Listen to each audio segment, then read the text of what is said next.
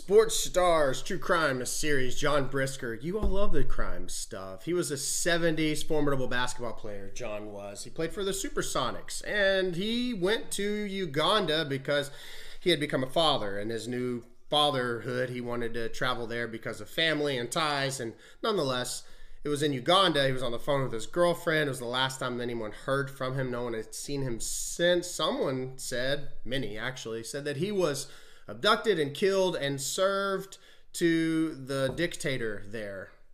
Others said he was shot. Nonetheless, his brother thinks that instead of going to Uganda, he had gone to Nigeria. But since his disappearance, no one knows where John Brisker is, and the true crime still remains truly unsolved. Let me know in the comments below if you knew of the Supersonics that is John Brisker. Be sure to follow for more funerals, music, true crime, and your weirdo stuff. My music comes out soon.